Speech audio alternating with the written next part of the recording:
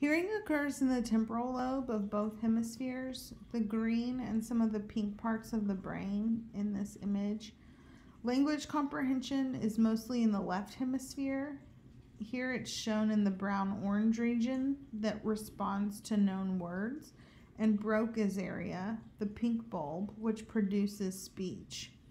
Note that a person could hear but not understand, or understand but not speak if Broca's area is damaged.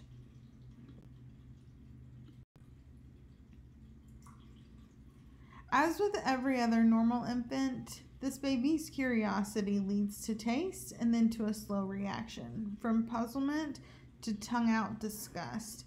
Her responses demonstrate that the sense of taste is acute in infancy and that quick brain perceptions are still to come.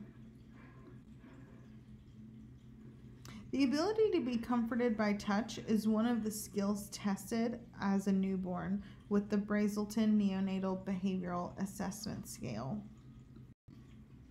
You can look at the chart on page 94 for additional information about age norms for gross motor skills.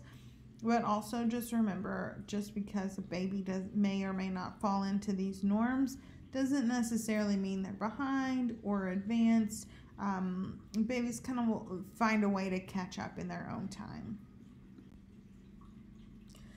Um, this, uh, you can see the chart on page 95 again for more information on these motor skills.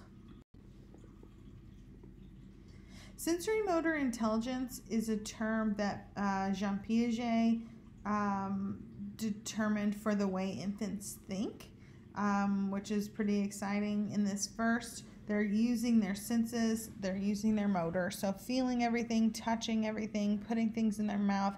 This is all how they're making sense of the world and understanding what's around them.